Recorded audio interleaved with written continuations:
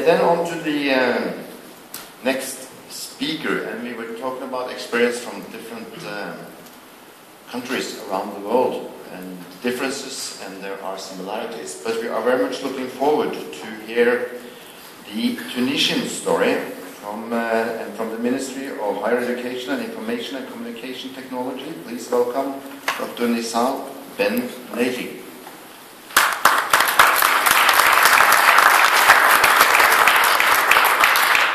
Good morning, everyone. So, uh, first of all, I would like to thank you, the, the organizers, for this invitation to be part with you in this event and to share the experience of uh, the Tunisian experience in the context of e-government and in the context of electronic identification. So, as you know, Tunisia an ongoing democratic transition. So, after the revolutions, many reforms were done in the public uh, in the public sectors and now we have a new context, new vision, new government strategies, objectives, and of course challenges.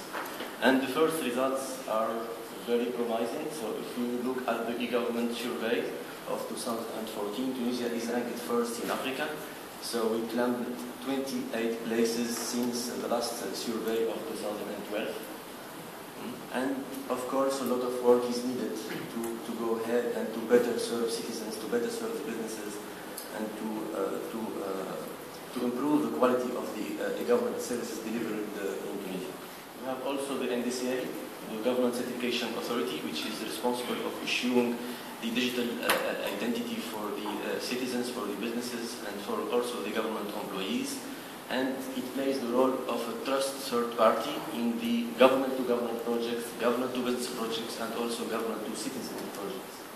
We have also the National Agency for Computer Security, founded in 2004, and it is in charge of controlling and auditing uh, the e-government services and executing the national IT uh, security strategy in the Tunisian procurement system. It's now a single window for the public procurement, a 24 per 7 online platform, allowing to achieve so as transparency and reduce the operational cost and to eliminate the paperwork.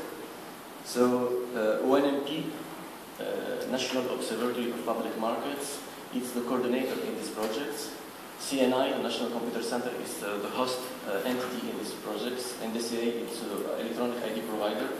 And uh, this project was partially funded by the KOICA, Korean International Cooperation Agency, and the solution provider was the Korean company also Samsung SDS. As you can see in this project, we have many combines and e-bidding an e-bidding system, an e-catalog system, e-contract system, and e-archiving system. And this online platform, it interconnects the public procurers with the private uh, uh, suppliers. And also we have other external links with banks and with the Ministry of Finance just to check uh, the payment of tax. TUNEPS for public procurement in Tunisia. TUNEPS stimulates the role of public procurement in economic development.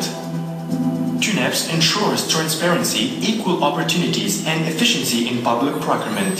This system represents a virtual market which is easily accessible and permits an instantaneous interaction between all parts involved in public procurement. The access to TUNEPS facilitates the information's gathering. Before the setting up of TUNEPS, the suppliers had to go to several administrations to obtain required documents in order to participate in tenders. After the setting up of TUNEPS, the access to the single window permits the linkage between the different parts in the process of public procurement. Thank you for your attention. So it was an overview of the e-government situation and, and uh, few e-government projects in Tunisia. So thank you for your attention.